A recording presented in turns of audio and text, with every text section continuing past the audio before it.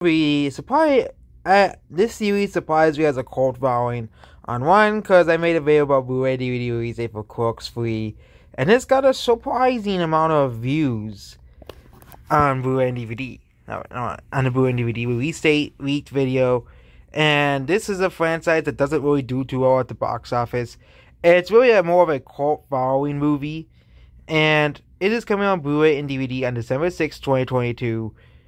And yep, will this movie release internationally? Because this is a movie that doesn't really do too well domestically, but does better internationally. It is one of those series. And also, I found out that this movie is technically around $12 million in the red, which means this movie has basically watched $12 million for whoever made this movie as well. But yep, it's coming on physical media as well. It will most likely coming to streaming as well, where it's by offset the watches for this movie as well. So that's basically this video. Goodbye.